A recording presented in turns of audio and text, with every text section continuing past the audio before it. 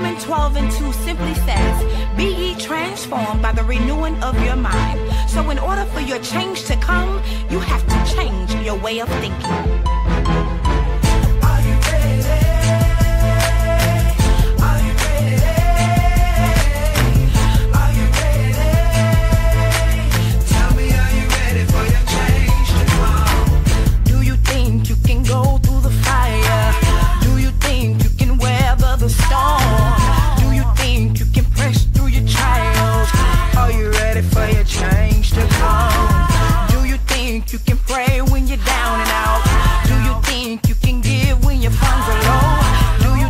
You can trust him to bring you out? Are you ready for your change to come?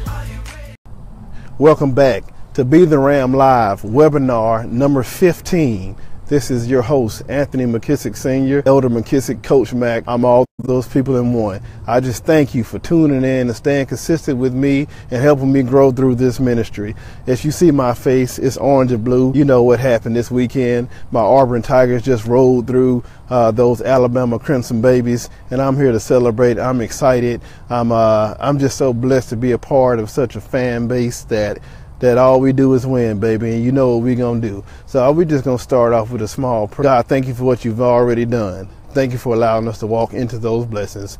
In your marvelous name, amen.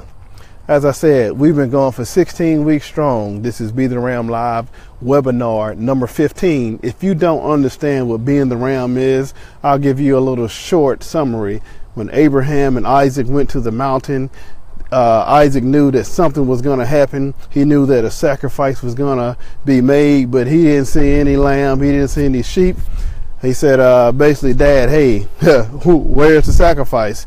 And uh, Abraham told him, God will provide. And when they got on top of that mountain, right before he uh, struck his son, there was a ram in the bush. That ram is what saved Isaac's life. So what we're doing here is we're being the ram. We're being that person who saves another person's life. That is what being the ram is. So if you ever see that hashtag, be the ram, they got it here. It started here with us. Be the ram live. What I want you to do is subscribe to this channel. I want you to share this post and I want you to comment. Viewership has been down, but I'm going to stay faithful. I'm going to stay consistent. I'm going to continue to do what God has called me to do.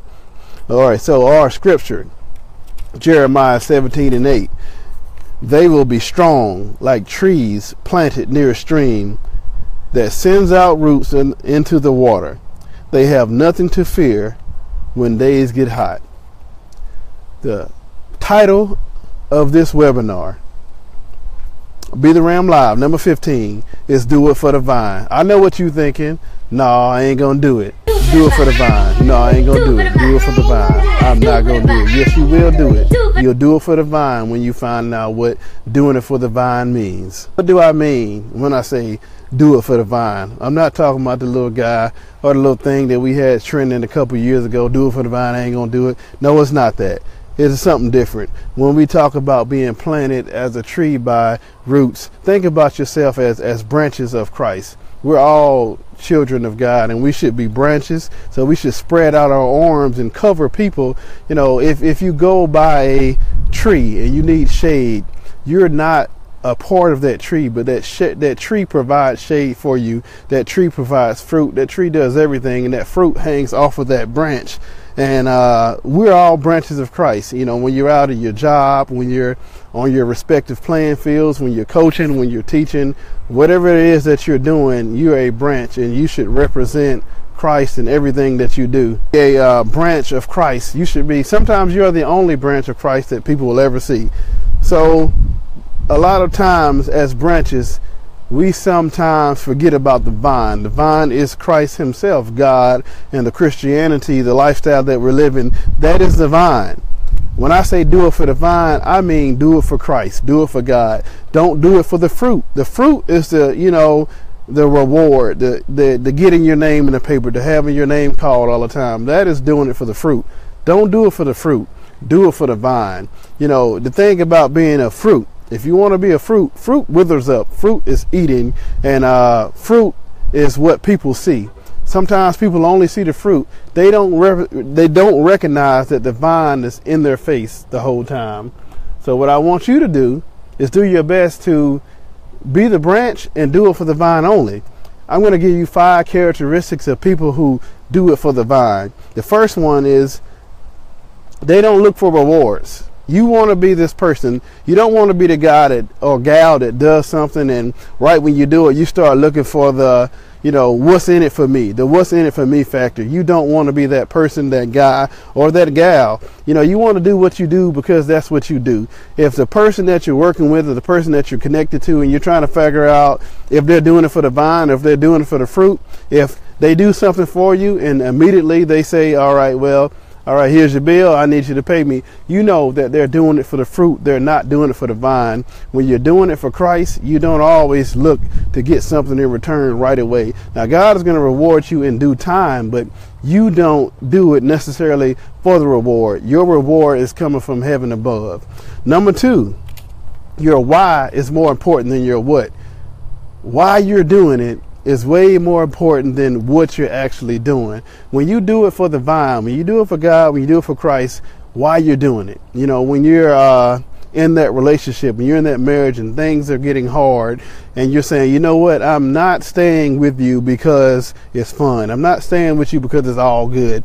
I'm staying with you because the why. The why is because this is the person that God has ordained me to be a part of. This is the person that uh, I know there's so many blessings that are attached to this marriage, this relationship, this ministry. That is why I'm doing it. The reason I'm doing this webinar is not because I have a million viewers, because I don't. My why is way more important than my what. Why is because God told me this is what I want you to do in this time of this period. Number three, uh, a person who does it for the vine is a very committed person. You can look to them to be on their post. You don't have to tell them to do what they do. They're going to do it. This person is, uh, they show a level of commitment that is unmatched. These are the people that you know, you know they're going to be there. You have that person that work that they're not going to call out sick.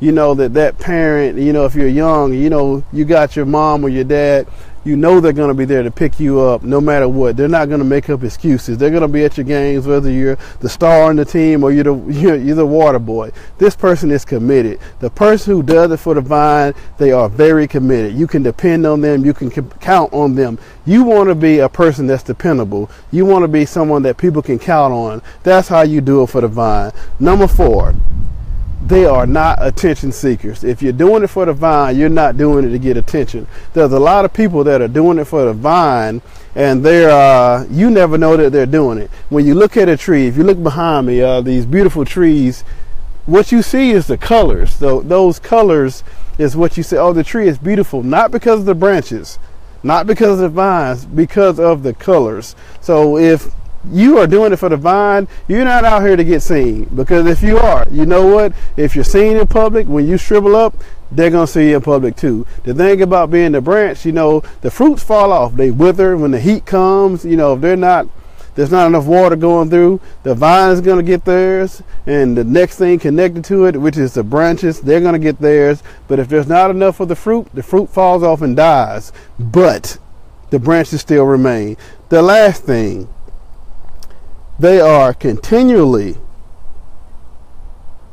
reinventing themselves, or at least you think they are. And that's the same thing with the uh, the seasons coming on. The leaves are going to fall off, but those branches are going to be there. They're getting bigger and they're getting better, and they may even produce a different form of fruit. You know, a hundred years from now, if they don't chop this tree down, it's still going to be here. I'm probably not going to live to be 135 years old, 140 years old, but that tree can stay, and that tree always reinvents itself. It stays around, and that's something about being the vine or doing it for the vine. When you do it for the vine, these people seem to always like, wow, I thought Charlie Wilson was done, or I thought that, uh, you know, Kirk Franklin, he hit stomp, and all of a sudden he comes out with a new song 20 years or 10 years, well, not 20, but 10 years later, and there's another hit. They just always seem to be in demand. And I tell you, when when you do things for God, He'll keep you in demand. He'll keep you, uh, uh, He'll keep you needed. He'll keep people always calling and reaching for you when it's your time. So, what I really want you to take away from this is that do it for the vine. No, yes, do it. Do it for the vine. Don't do it for the fruit. Don't be the kind of person that you're always looking for a reward. Be consistent in what you do. Uh, don't look for rewards. Understand that your why is more important than your what. Be committed. Don't be an attention seeker. And continuously look to reinvent yourself. Always stay hot. And if you stay with God, you're going to be hot because God is a superhero and Jesus is, you know, He is the man. And if you stay connected to the man, you will always be the man. You don't want to be a fruit. Although a fruit looks good, you are too far departed from uh, God, if I say the the vine. You know, the branches are connected to the vine, the vine is connected to the ground, but the fruit, the fruit is so far away that the fruit is dependent upon everyone else. You don't want to be the person that's dependent upon everything else. You got to get this thing for yourself. I pray blessings and favor over you during this week. Please share, subscribe. Love you in Jesus' name. I'm out.